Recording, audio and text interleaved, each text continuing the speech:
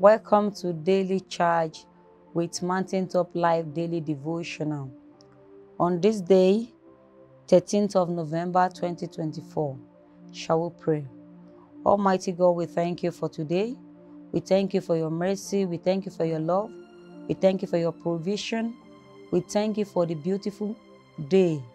Be exalted, O Lord, in the name of Jesus. As we are about to go into your word, O Lord, my Father, speak to us yourself. Let us see you. Minister to our soul. Let our spirit man be enlightened in the name of Jesus. At the end of the day, you will kill our ignorance and your name shall be glorified.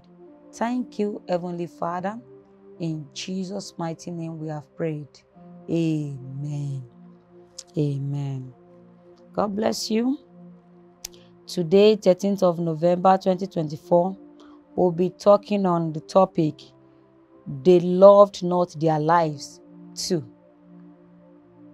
The second part of They Loved Not Their Lives.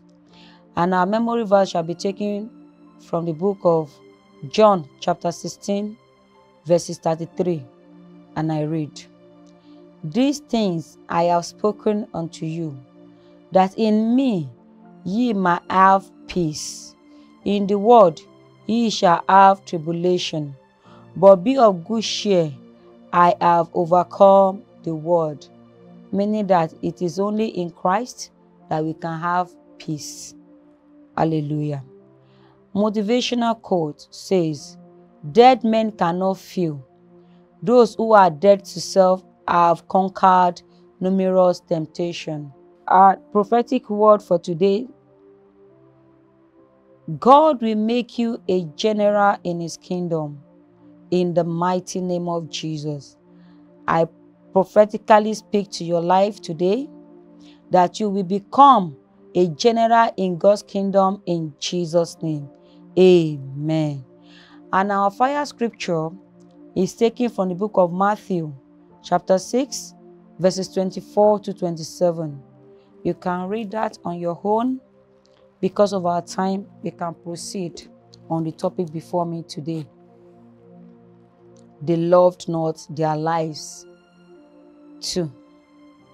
As a Christian, what we must know is that we must carry our cross without minding the cost.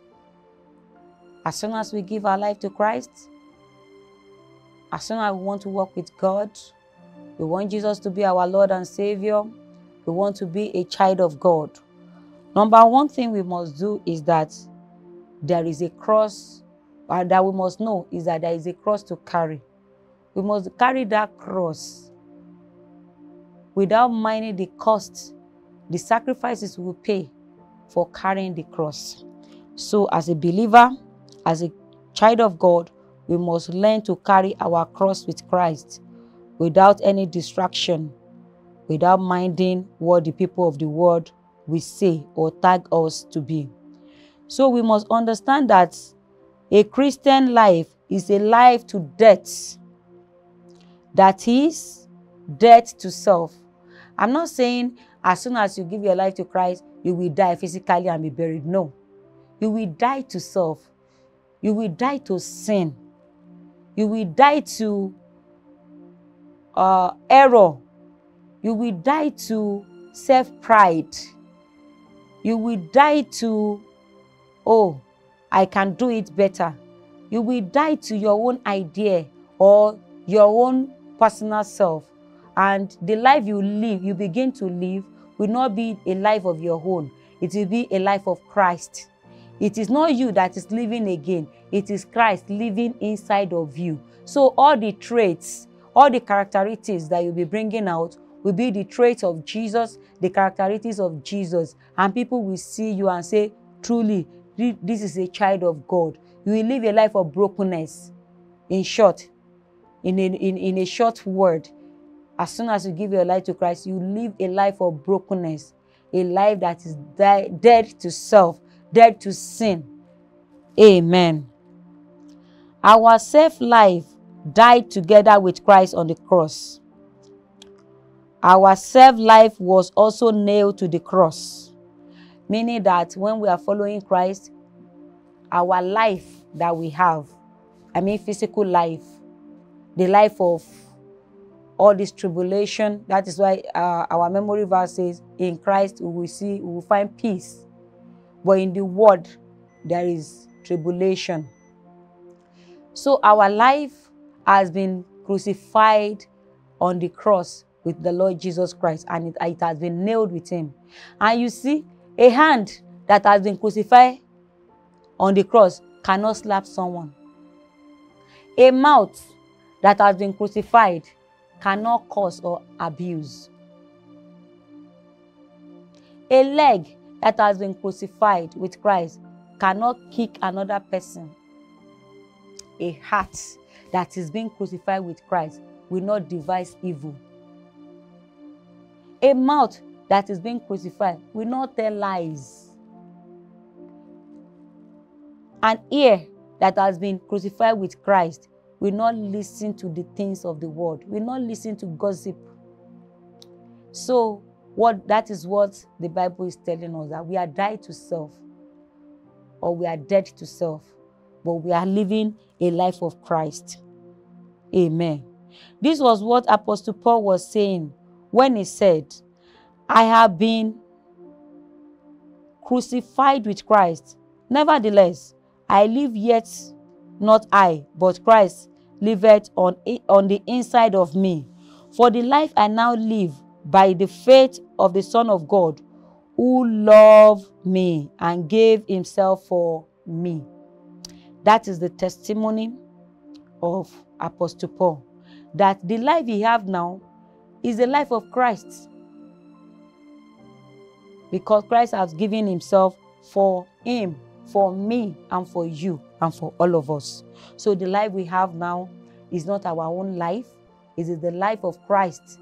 Christ being glorified through our lives, through our existence. Hallelujah. And we can see that in our fire scripture, there is a call to love God and not self. We see some people, they prefer to love themselves and paint the love for Christ because they want to satisfy selfish interest. They want to satisfy self. No. In our fire scripture, we see that there is a call not to love self, but to love God. When our Lord and Savior Jesus Christ told his disciple how the world will reject them or reject him for God's will and purpose to be fulfilled. There was a time when Jesus Christ, our Lord and Savior, was teaching and talking to his disciples. You know, in different occasion, uh, occasion in the Bible, we have seen where Jesus will be teaching his disciples, telling them things, you know, trying to open their ear and heart of understanding to understand the things of the Spirit. So in this kind of occasion, he gathered them together and he was telling them of what will happen, how the world, uh, after all the miracles, all the signs and wonders Christ have done for the people, after all the benefit that people have benefited from him through the power of God in his life, he said, after all this, people will still not appreciate him. People will what? Reject him and want to take his life. But this is not people, it is for the will of God to be fulfilled. When our Lord and Savior was telling Peter, I mean the disciples, including Peter and all of them about this, Peter was not, you know, was not pleased with that statement. So Peter quickly stood up to rebuke Jesus, to negate what Jesus was saying. And when Peter said that, Jesus Christ reprimanded him and said, Get away behind me, Satan. It was Peter that was talking, but Jesus was rebuking the devil. Because Jesus have understanding of spiritual warfare or spiritual word. He knew that that has been written concerning him, and that is the only way he can fulfill purpose and destiny. But someone like Peter was rejecting it, but not Peter himself, but devil speaking through Peter. We will take a short break now. We'll be right back. Stay tuned. God bless you.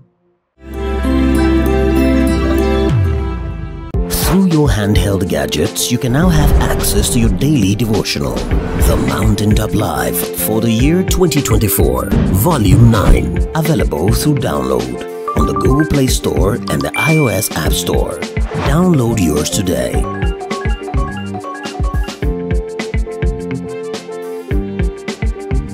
Mountaintop Life Daily Devotional, Volume 9, a life changing encounter with a God that answered by fire. Mountain of Fire and Miracles Ministries. Surely the Lord is here.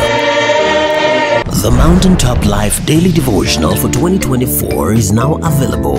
Volume 9. Get a copy today and some for those you care about, and leave your days filled with the presence of the Lord. The Mountaintop Life Daily Devotional, Volume 9. Life changing encounter with a God that answered by fire.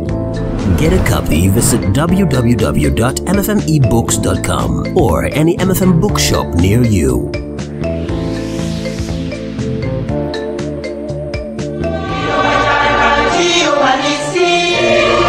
Mountain of Fire and Miracles Ministries. Surely the Lord is here.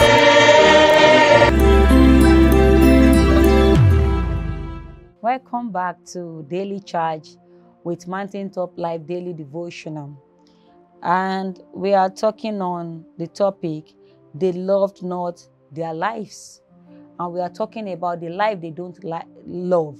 Is the life of the flesh, the life of the world.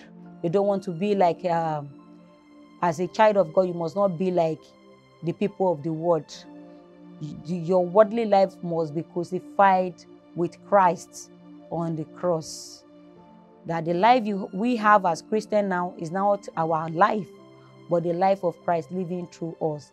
And we are talking about when Jesus was telling his disciples about how his journey of, unto destiny fulfillment will go.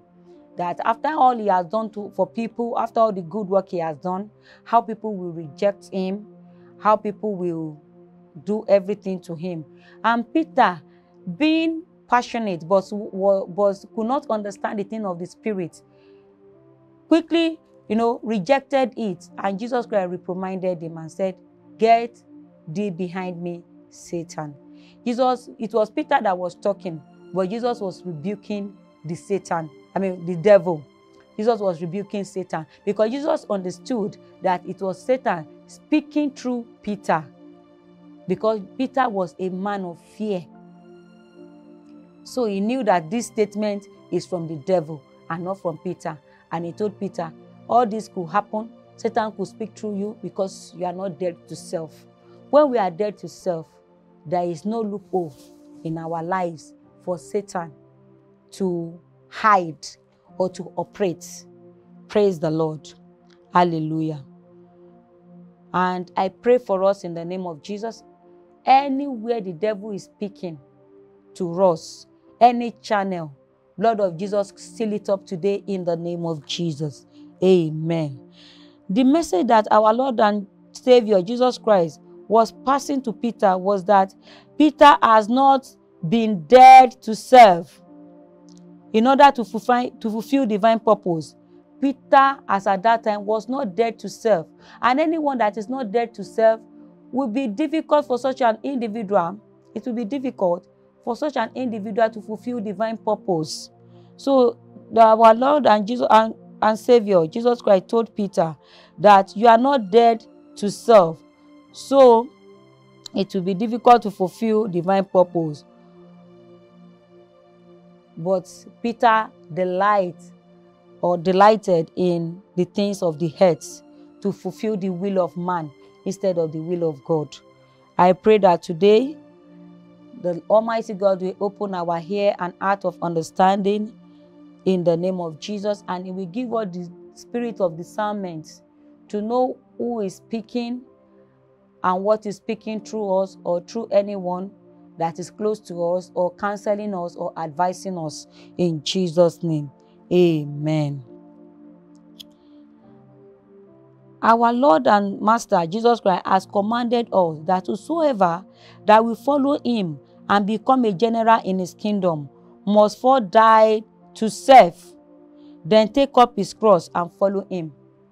If you want to follow Jesus, you don't look back. You must be focused. You must carry your cross. Carry your cross means obeying all the rules and regulations of the kingdom, saying yes to the commandment of Jesus, and saying no to what flesh, the word or Satan is saying to us. Or if it is the will of God, that is what I will do. The will of man, I will not do. So, what the Bible is trying to tell us, or our Lord has commanded us, is that whatever that He has not instructed us to do, we should not do it. That is not from Him, it's from the Word. So, anyone that wants to follow Christ must follow Him wholeheartedly, must be a good disciple, must be a good follower, must emulate Jesus in everything at every given time. We must carry your cross, not minding what the world will say. They will call you all sorts of names. They will call you, they will tag you all sorts of things. You don't mind. You continue to be yourself and follow the Master. Hallelujah. Our Lord and Savior Jesus Christ also instructed us that whosoever will save his life will lose it. And whosoever will lose his life for the sake of the go gospel will save it. So if you are afraid, I don't want to die, I don't want to die, and you deny Christ, you will not have eternal life. But if you don't mind what will happen and you see this world as, oh, we are just passing by, I will not deny Christ. If you lose your life because of Christ, the reward of eternity is waiting for you. Apostle Paul saw this as a call to love God and not serve. What we are saying today is that when you love God more than how you love yourself, you deny yourself so many things for the will of God to be done. You are truly a child of God. But when you allow the will of God to be on hold and your own self will to be fulfilled, it means that you are not ready to be a disciple of Jesus Christ. For example, Abraham. Abraham could not have a child. Until his old age, God gave him Isaac, a promised child, a child that he has been waiting, waiting for for a long time. And at a point in time, God told Abraham, the same child that you love so much, the same child that I have given to you in your old age, I want you to sacrifice that child for me. Abraham did not hold back. Abraham did not have any doubt or any fear of, ah, if I sacrifice this child to God, which child will bury me or what will happen to me?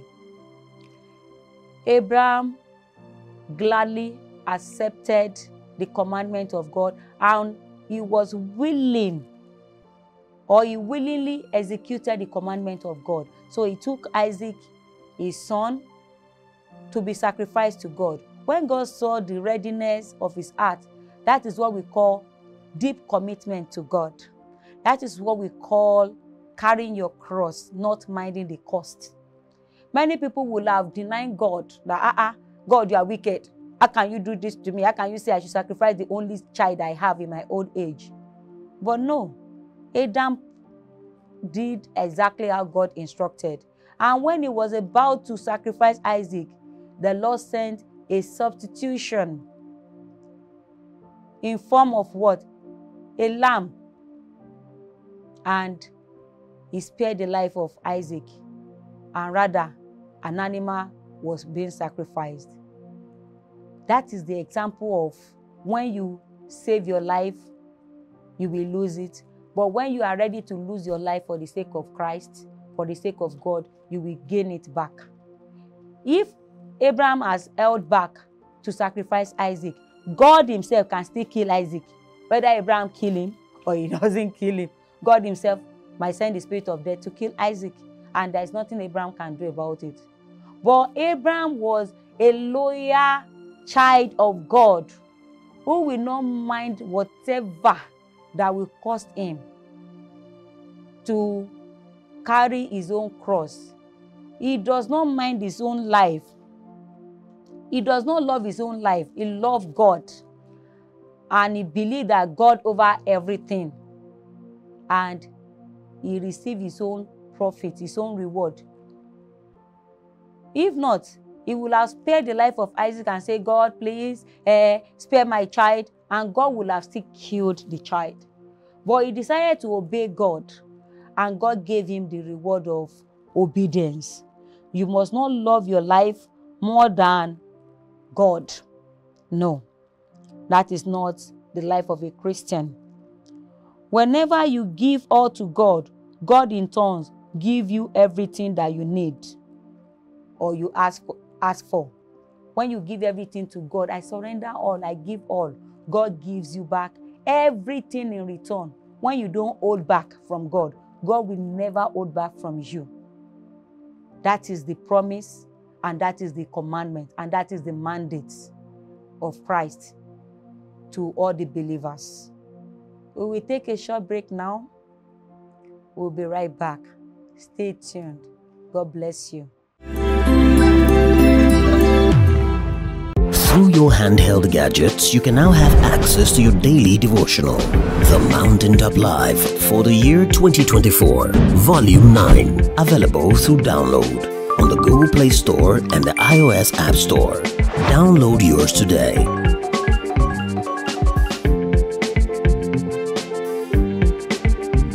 Mountaintop Life Daily Devotional, Volume 9, a life changing encounter with a God that answered by fire. Mountain of Fire and Miracles Ministries, surely the Lord is here.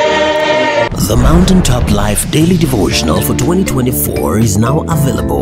Volume 9. Get a copy today and some for those you care about, and leave your days filled with the presence of the Lord. The Mountaintop Life Daily Devotional, Volume 9. Life changing encounter with a God that answered by fire.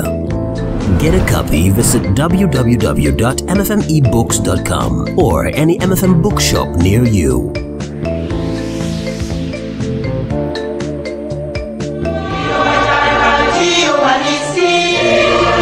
Mountain of Fire and Miracles Ministries, surely the Lord is here.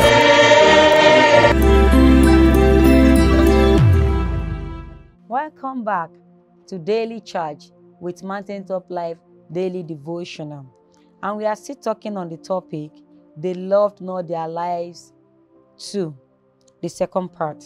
And we're talking about um, the love of Christ, the love of God, the love of the world. And we are talking about dying to self. Amen. So, I, eh, Abraham accepted to sacrifice Isaac, and God, in turn, gave him back Isaac. And through Isaac, you can see what happened. Many generations came forth. God saw a true general in Abraham, in whom he can build his future church. He sees that I can confide in this. I can invest in this person because he's trustworthy. Can God invest in you? Can God trust you to that extent? Can God build his future or the future of the church in you? Will you deny him or you will follow him? it is well. Brethren, are you a true general of God's kingdom? Can God call you his general or you are the one that's saying, I am God's general? I am God's general. That is self acclaimed uh, status. It is not what God called you. Can God call you his general the way he called Abraham his own? You must live your life to fulfill the mandate given to all the believers in Revelation chapter 12, verses, verse 11. You must live your life to fulfill that mandate. You must not live to love yourself. This is what I want to do. This I want to do it. Not minding what God wants you to do at that time. Your life is not to satisfy you, but to satisfy God. That is why the Bible says, I have created you so that you will give me what? Glory. Your life must give glory back to God. That is the reason why you are being created. You must love God and not self. Loving God is the qualification for the kingdom of heaven. So, do you have that qualification? Do you love God? If you love God, are you willing to sacrifice everything for the sake of God? Are you willing to sacrifice your pride, your ego, your sinful desire for the sake of the kingdom of God? Are you ready?